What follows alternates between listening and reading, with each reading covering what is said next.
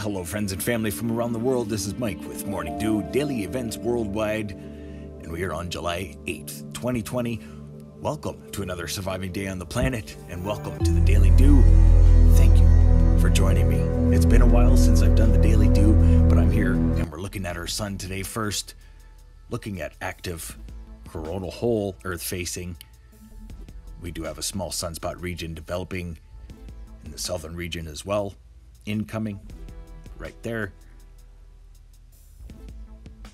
We did have some pretty active sun activity over the last couple days.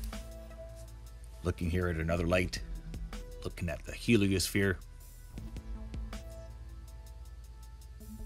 Still an amazing, amazing star. And we are truly lucky to be able to look at it this way.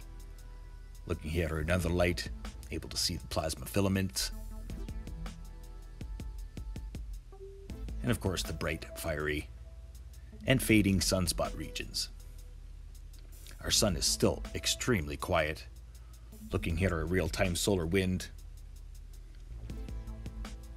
as we did see an increase up to over 500 kilometers per second over the last couple days, as we did have some incoming activity, but it is now steady and slow at 350 kilometers per second but literally 501 kilometer per second.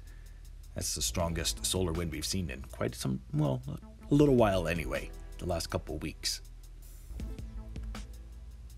So, not much activity to talk about on the sun.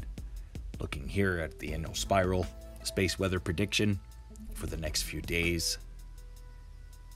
As you can see, a lot of that energy just missed Earth in these models.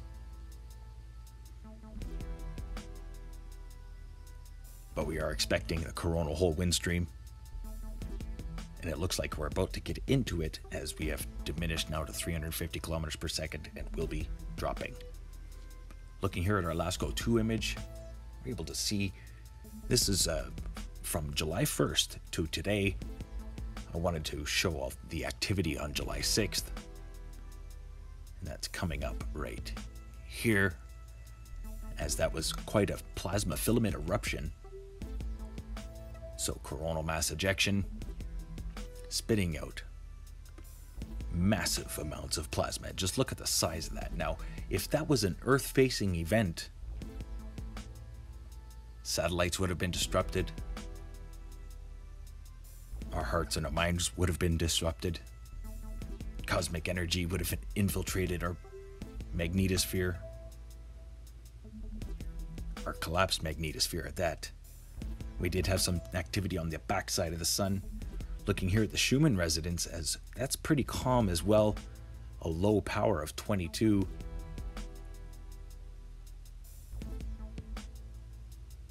And let's get to earthquakes here the last 24 hours, as it's been pretty busy since we've had our little uh, transition into the planetary conjunction.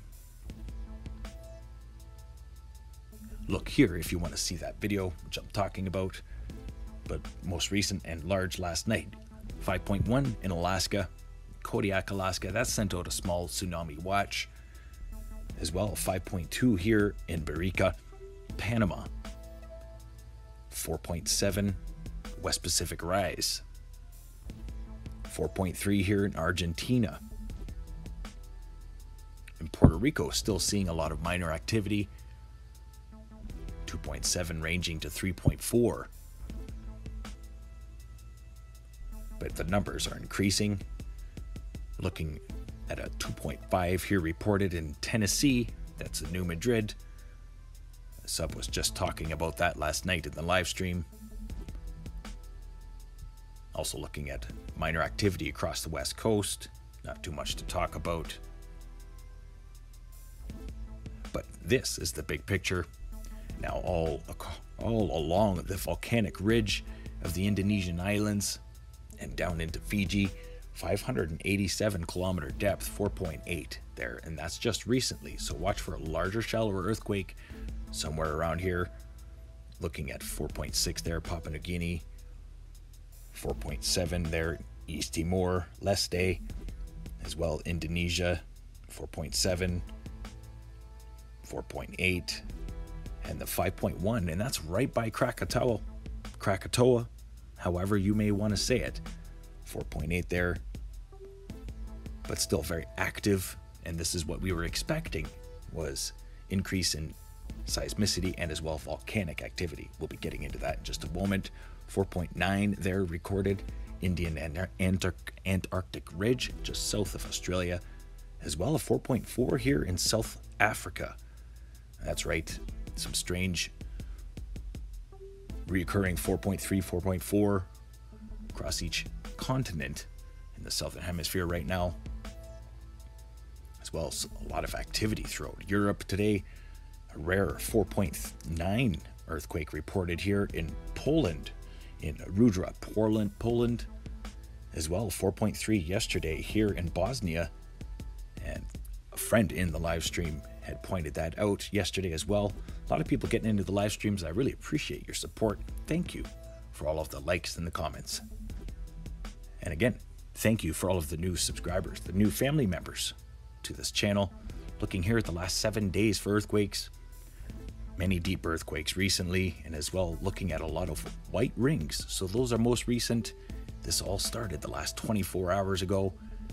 Large earthquakes, deep Marianas Trench, Japan, as well the volcanic islands of Indonesia, deep earthquakes, South America, and as well volcanic swarms still in Puerto Rico. But still, it's triangulated there with these deep earthquakes, so stay aware and prepared. We are on the verge of a large earthquake to follow. Looking at the Pacific Disaster Center, where we're going to observe most recent volcanic activities being reported. Looking here at Sabancaya in Peru, Fuego in Guatemala, Nishinoshima, in Japan, Reventador in Ecuador, Sangay in Ecuador, as well Nevado del Ruiz, Chile, Semeru in Indonesia, and Dukono in Indonesia. So that's about eight volcanoes before them. Very major volcanic eruptions so stay aware and prepared, my friends and family from around the world. You can see here a tsunami watch was put out last night with the 5.1 Kodiak, Alaska. And quite intense storms now moving across the Canadian prairies as we've had many funnel, uh, funnel clouds being reported throughout Alberta and as well Saskatchewan heading into Manitoba. And these storms are going to continue and move eastward into a very hot, sticky, and humid Ontario, so stay aware and prepared. We do have one tropical storm to talk about, and that's Cristina, who's just riding the coastline of Guatemala right now, heading into the equator. As well, the tropical storm that was heading towards United Kingdom has diminished. Looking here at NASA Worldview, and we do have some more uh, sandstorms developing off the coast of Morocco, Sahara dust very dry and hot Africa. Looking here, NASA Worldview as well. Just wanted to show you all the heat sensors that are popping off across Africa and look at all the smoke. You can barely see the terrain from space. Thoughts and prayers going out to everybody there. Breathe easy. Looking here at the five day forecast brought to you by Meteo Earth, Meteo Mike. Starting out here, home base, Calgary, Alberta. As as I was talking about, we did have some extreme weather over here the last few days throughout the Canadian prairies, especially in Alberta. Many funnel clouds being reported yesterday in and around Calgary. And we had a tornado warning two nights ago, or three nights ago. But look at these storms, they just keep tracking northward and then eastward bringing really cool temperatures, smashing with these record breaking warm temperatures throughout Ontario. So watch for extreme weather to break out as you have a system riding up the, the seaboard, and as well, you have the Alberta Clipper, which is heading eastward quickly.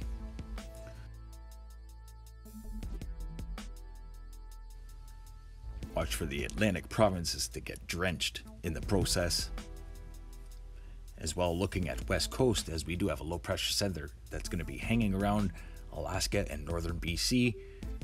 It's going to usher in a lot of moisture in the five day forecast. Looking at a little rain train coming at you.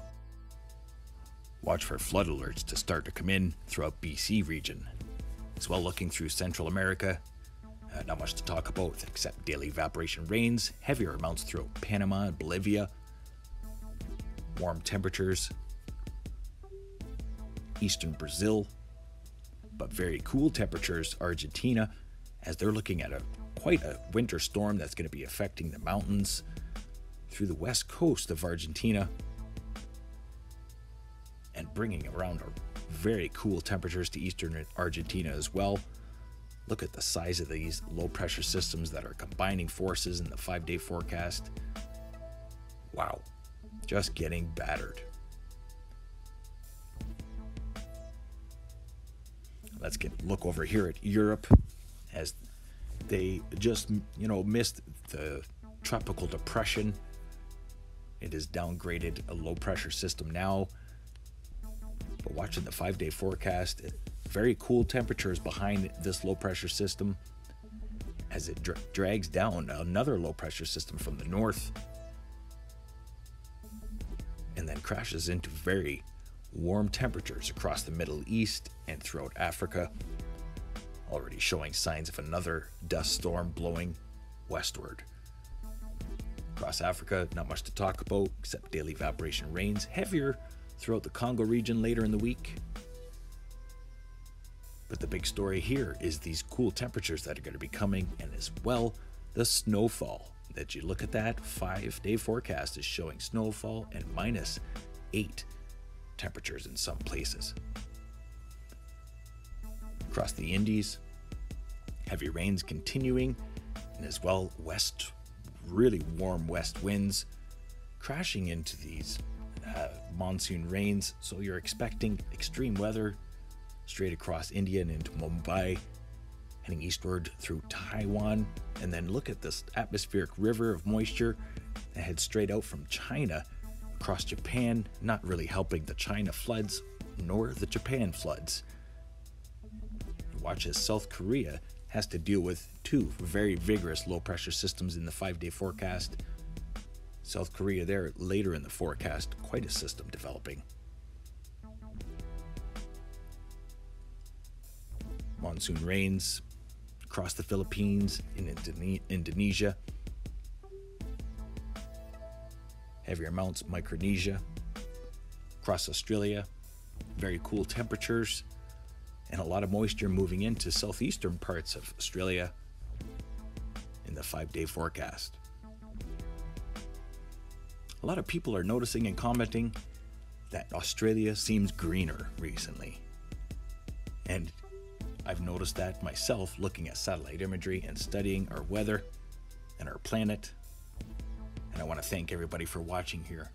We're going to leave you looking at the southern hemisphere versus the northern hemisphere, looking at a huge and vigorous low pressure system here in the Antarctic, and a strange place for the North Pole in the north.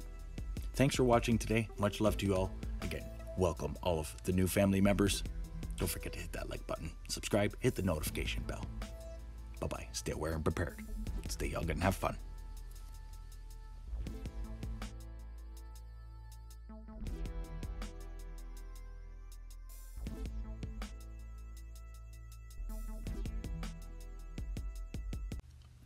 And don't forget to check out dailyeventsworldwide.com, where you can get all the latest news and events and share your photos and videos. If you enjoyed today's video, please hit that like button, subscribe, share with your friends and family from across the world.